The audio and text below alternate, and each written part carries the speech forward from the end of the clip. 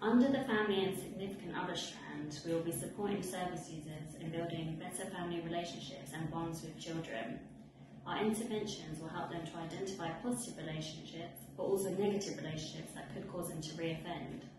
We will also be working with perpetrators of domestic abuse and partnering with the organisation RISE to develop group interventions. As well as group interventions, we'll be working with service users on a one-to-one basis. Good well-being is really important and can make a positive difference to people that have been impacted by the criminal justice system and we're really looking forward to getting going and making a change for people.